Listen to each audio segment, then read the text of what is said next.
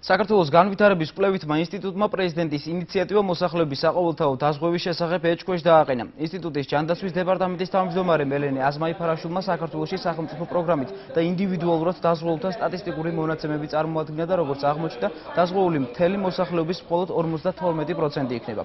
შესაბამისად, ეს არ არის მოსახლეობის საყოველთაო დაზღვევა. აზმაიფარაშვილმა პრეზიდენტის ამავე განცხადებაში გაჟღერებულ ფარმაცევტულ საშუალებებზე ფასების დაწევის ინიციატივაზეც ისაუბრა.